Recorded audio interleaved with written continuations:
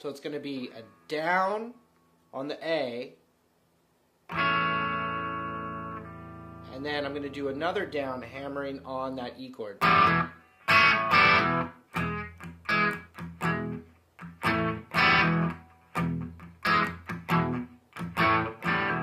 Okay, so if I was playing that progression, you could actually go to A with the same rhythm and do the exact same thing, but with A and D, and then hammer on the A again.